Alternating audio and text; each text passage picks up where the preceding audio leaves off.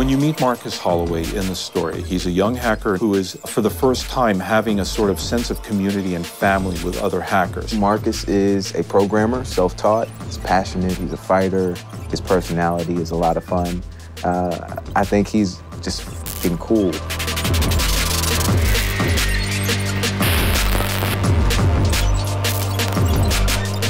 Marcus is somebody that was raised in Oakland. At the beginning of the game, he hacks into a system and you see he's got a profile, right? All these labels are pushed upon him because of where he's from, his family's history. The system has said this is who he is, and he's fighting against it. Marcus is fighting against injustice at its very essence, at the core of everything, and he just wants everything to be fair. It's about our loss of privacy, it's about our loss of control over our own life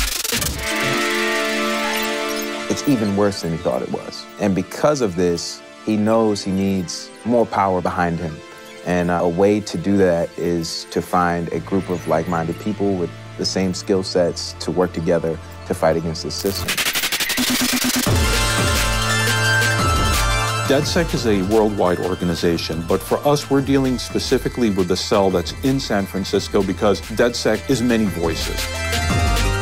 Marcus comes along because he's looking for the right group. And what's wonderful about DedSec in San Francisco is the diversity. Oh, by far, Marcus's closest friend in the game is the Wrench. Wrench is the resident uh, engineer and also problem solver. He's the demolition man. You know, if you need anything blown up or like, he, he's gonna go out and create some anarchy. He just likes getting into trouble. He wants to get into a good fight.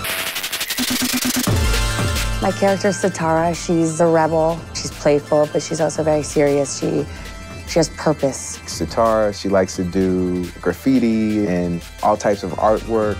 She's the one responsible for uh, creating all the visuals that DedSec is going to use, so it really becomes more memorable. She's looking to change things through her art, through her message. She wants to engage people mentally.